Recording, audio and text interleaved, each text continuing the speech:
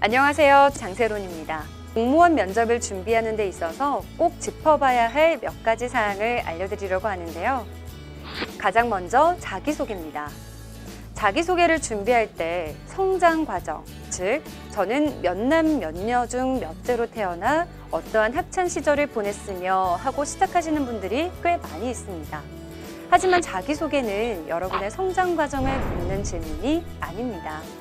여러분이 어떠한 사람인지 한 단어를 선택해서 그 단어를 통해 여러분들을 풀이해 주는 것이 면접관들에게도 더 잘 기억될 수 있습니다. 두 번째로 장점과 단점입니다. 자기소개만큼이나 많이 물어오는 질문이 바로 이 장점과 단점인데요. 장점은 보통 많이들 준비가 되어 있지만 단점은 어떤 이야기를 해야 하나 고민인 분들도 많습니다.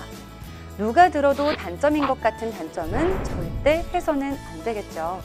나를 깎아내리는 단점보다는 내가 가진 성격 중에 보완이 가능한 성격, 그리고 보완을 해낸 성격이 있다면 이것을 단점으로 녹여내는 것이 중요합니다.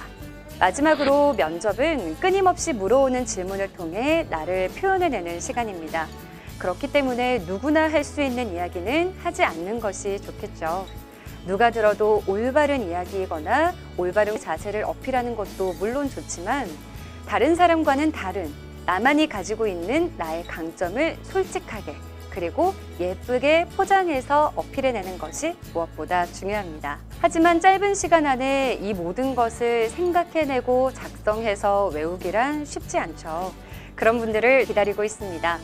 면접관을 사로잡는 나만의 답변 스킬 외우기. 지금 저와 함께 시작해 보시죠.